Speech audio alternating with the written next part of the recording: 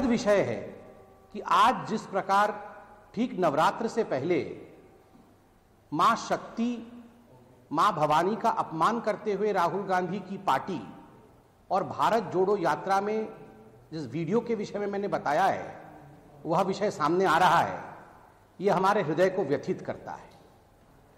मगर यह कोई पहली बार हो रहा है, ऐसा भी नहीं है। पहले भी ऐसे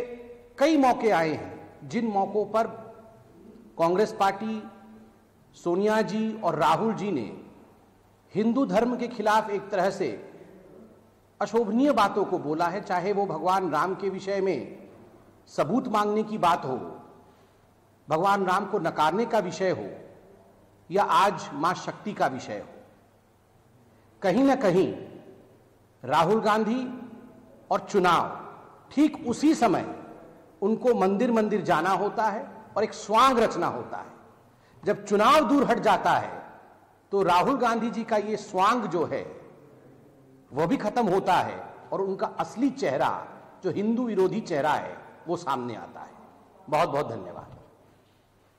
the BJP escalating its attack against Rahul Gandhi after that meeting with that controversial priest who said Jesus is the only God, not like Shakti and other Hindu deities. And this is a preacher who has made controversial remarks against Hindus in the past. Most notably, uh, he has said, uh, he has uh, insulted Bharat Mata, the concept of Bharat Mata, where he said that Bharat Mata was a dangerous disease and that he would not let it touch his body. He claimed that the Tamil Nadu government was providing free footwear so that people do not get diseases from stepping on Bharat Mata. So this preacher has a long rap sheet and uh, Rahul Gandhi has really put the Congress on the back foot, especially after just four days of the Bharat Jodo Yatra by holding that meeting and the BJP raining fire on the Congress MP. I'm joined by my colleague Akash on the phone line. Uh, so, Akash, the BJP going all out against Rahul Gandhi after this uh, meeting with this controversial priest, and this will only escalate as the Bharat Jodo Yatra enters the Hindi heartland.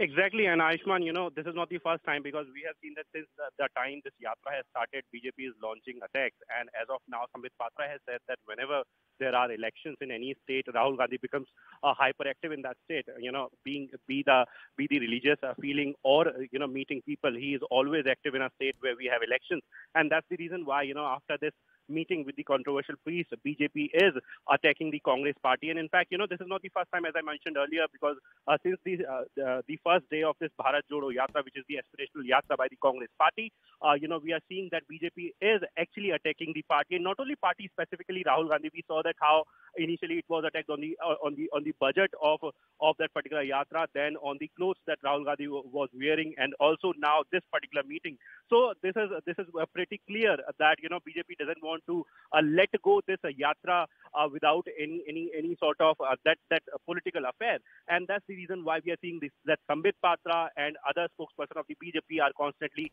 attacking Rahul Gandhi and the Congress party as well.